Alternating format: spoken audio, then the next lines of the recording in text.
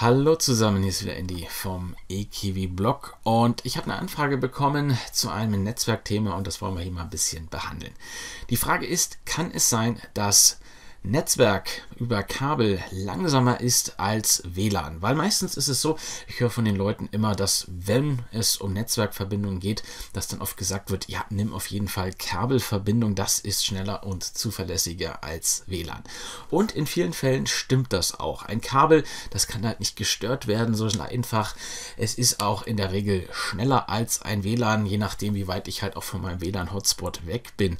Aber eben nicht immer. Und zwar, konkretes Beispiel war jetzt hier ein Fire TV Stick, da wurde dann ein Speedtest gemacht und da war dann der Speedtest über das WLAN schneller als über Ethernet, über Kabel. Und normalerweise sollte man ja annehmen, wenn ich da ein Kabel verlege, dann ist das darüber auf jeden Fall schneller. Ist aber nicht immer der Fall. Der Grund liegt darin begründet, dass Netzwerk nicht gleich Netzwerk ist. Wir schauen mal kurz in Wikipedia rein. Es gibt nämlich beim Ethernet gibt es verschiedene Geschwindigkeitsklassen. Ganz früher, damit, das wird man heutzutage nicht mehr antreffen, war 10 Megabit Ethernet. Das hat man dann hier auch teilweise solche kruden Kabel hier. Aber was man heutzutage noch trifft, ist dieses 100 Megabit Ethernet, das Fast Ethernet oder eben das Gigabit Ethernet. Und je nachdem, was euer Gerät dann an der Stelle kann, wenn es nur das Fast Ethernet kann, dann ist eben bei 100 Megabit pro Sekunde Schluss und neuere WLAN-Standards sind dann deutlich schneller als diese 100 Megabit. Wir können mal gucken hier beim Fire TV, dem Fire TV Cube hier mit 4K Ultra Streaming Media Player. Der kann nämlich Ethernet, da wollen wir jetzt gleich mal schauen. Das heißt, wir können da einfach ein Ethernet-Kabel anschließen. Hier steht auch was von vollständiger Ethernet-Unterstützung. Das klingt doch schon mal sehr gut. Wenn wir aber genauer mal hinschauen hier in die technischen Daten, dann finden wir hier unten, dass das Ganze hier über ein Ethernet-Adapter realisiert wird und in Klammern steht da 10 100. Und das ist nämlich genau diese Einschränkung von diesem Ethernet-Adapter, dass der maximal 100 Megabit pro Sekunde schaffen kann. Wohingegen wir hier bei WLAN hier die neuesten Standard unterstützen, hier mit 80211a BG in AC mit Dualband WLAN mit zwei Antennen MIMO und das ist dann deutlich schneller als jetzt hier das Kabel. Und das ist dann im Prinzip auch die Erklärung, warum das dann da langsamer ist. Es wird keinen großen Unterschied machen beim Streaming, weil die 100 Megabit dann natürlich vollkommen ausreichen. Aber das ist der Grund, warum es dann an der Stelle langsamer ist.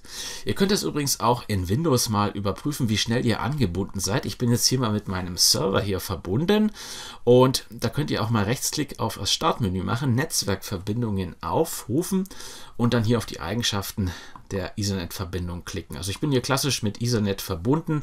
Im Task Manager sieht man hier auch Gigabit Network Connection. Wie, wie schnell es dann wirklich ist, sieht man dann hier in den Einstellungen, wenn man hier nach unten scrollt, Eigenschaften 100 Megabit. Ah ja, okay, 100 Megabit. Das ist aber dann kein Gigabit, sondern das ist eben dieser langsame Standard. Da kann man dann, falls das der Fall ist, einfach mal in die Fritzbox hineinschauen, falls man sowas hat.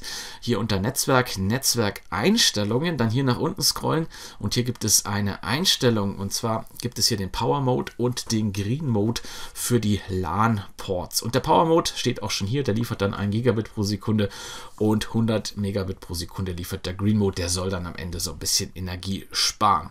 Falls das eingestellt ist, hier dann einfach auf Power Mode umschalten wirklich viel spart man da nicht. Ich habe mal irgendwo so einen Artikel im Internet gelesen, dass das sehr, sehr wenig ist, was da eventuell eingespart wird und also eigentlich diese Einstellung eher sinnlos und standardmäßig ist inzwischen hier auch der Power Mode immer aktiviert. Ich mache jetzt hier mal übernehmen, dann wird hier wahrscheinlich gleich die Verbindung mit äh, wegfallen und dann gucken wir gleich nochmal hier rein. Schauen wir mal, die Verbindung, ja, sie reagiert schon nicht mehr. Das heißt, wir müssen uns jetzt hier mal neu verbinden. Okay, ich bin neu verbunden. Gehen wir dann hier nochmal in die Eigenschaften hinein vom Netzwerk und dann sehen wir jetzt hier, dass durch den Power Mode jetzt hier auch diese 1000 Megabit pro Sekunde aktiv sind. Die Geschwindigkeit ist dann schneller.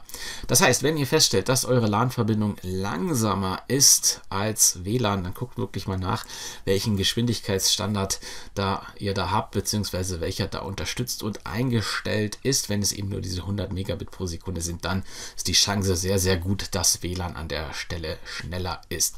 Beim Fire TV würde ich jetzt sagen, da ist es im Prinzip egal. Da hat man dann, wenn man über Kabel verbunden ist, halt den Vorteil, dass es so keine Störungen geben kann, dass es egal ist, wie weit ich sozusagen von meinem Hotspot weg bin. Gerade so dieses 5 GHz WLAN, das hat ja nicht diese große Reichweite. Aber man sieht, dass eben das WLAN auch nicht mehr so wirklich langsam ist und gerade hier diese Ethernet-Adapter über USB, die haben halt oftmals nur diese 100 Megabit pro Sekunde. Das war es in diesem Video. Alles gibt es auch nochmal zum Nachlesen auf unserer Homepage ekiwi-blog.de. Link packe ich dann auch unten mit rein. Da gibt es dann hier nochmal einen Artikel, da könnt ihr das dann alles nochmal nachlesen. In diesem Sinne sage ich Tschüss und auf Wiedersehen. Euer Andy vom Ekiwi-Blog.